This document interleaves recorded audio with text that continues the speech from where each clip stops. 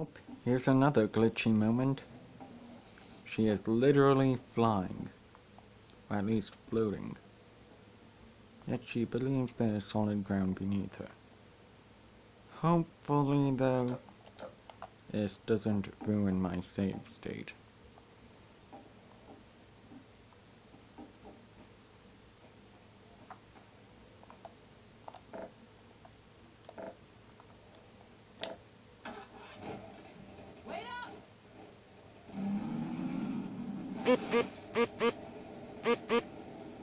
All I can hope is that she somehow gets fixed.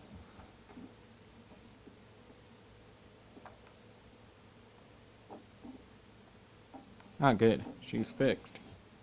Not sure how I activated the glitch or anything, but still. Seems to me like a funny moment.